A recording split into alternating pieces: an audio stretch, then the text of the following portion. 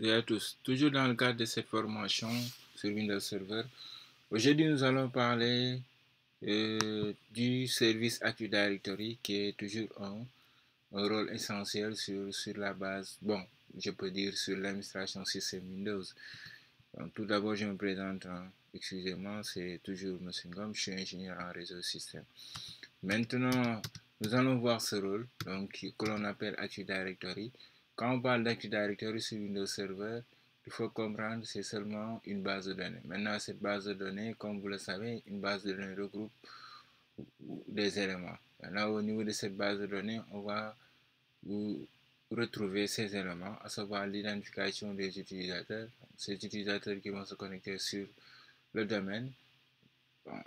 maintenant, ces utilisateurs, en se connectant sur le domaine, ils vont utiliser des ordinateurs Hormis les ordinateurs, les utilisateurs peuvent être scindés en groupe pour des besoins spécifiques, à savoir si on veut que ces utilisateurs utilisent une application. Maintenant, quand on va appliquer une stratégie au niveau de cette au niveau de Bon, pour les utilisateurs qui vont se connecter sur cette application, on l'applique au groupe seulement. On n'a pas besoin d'aller chercher chaque utilisateur et de lui appliquer euh, les stratégies.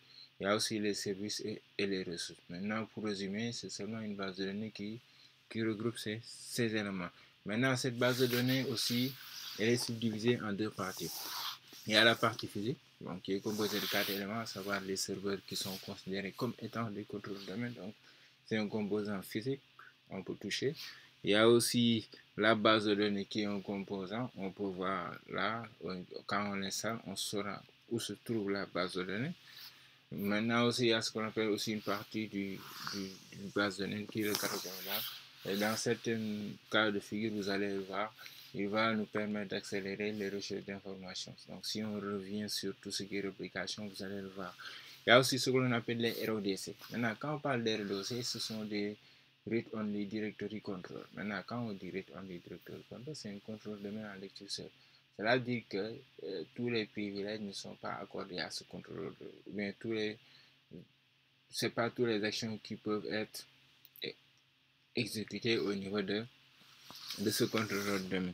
Maintenant, quand on part au niveau de la partie logique, il y a ce qu'on appelle déjà une partition qui est seulement une section de cette base de données. Donc, qui permet aujourd'hui, comme on l'évoque ici, elle affiche, génère, replique si et elle était composée de sections ou d'instances. Donc, c'est seulement une, partie.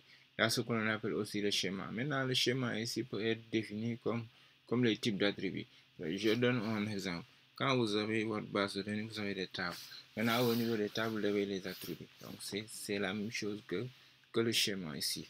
On a aussi la forêt. Maintenant, quand on parle de forêt au niveau du Windows Server, on fait référence à une collection de domaines qui partagent un même service Active Directory.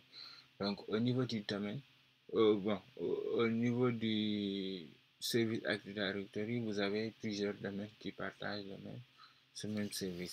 Là, ce qu'on appelle les sites, qui est un emplacement, bon, qui est surtout, plutôt, on fait allusion à un emplacement géographique. Maintenant, au niveau des sites, on, on va retrouver tout ce qui est utilisateur, groupe, ainsi de suite. Il y a ce qu'on appelle aussi les unités d'organisation qui sont considérées comme étant des conteneurs. Donc, des conteneurs, cela veut dire que c'est un espace isolé. On isole quelque chose quelque part. on retrouve ces conteneurs pour.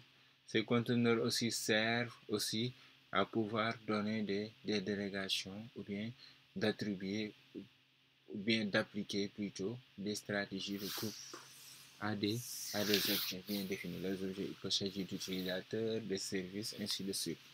Donc, c'est en fait ça, les deux parties de, de cette base de données. Maintenant, on va passer directement à la pratique.